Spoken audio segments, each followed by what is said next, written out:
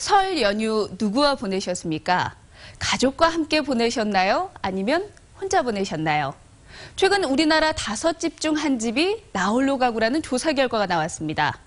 2010년에는 대략 여섯 가구 중 한 가구였습니다.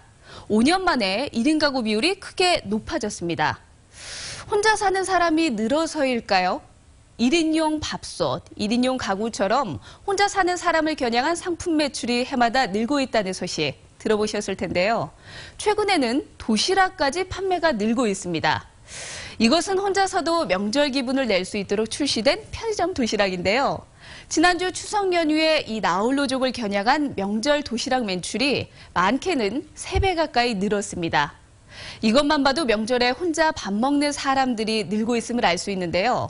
명절에도 혼자였을 주변 사람들과 싸우신 명절 음식을 함께 먹으며 이야기 나누는 시간 가지면 어떨까요? 지금까지 카드뉴스였습니다.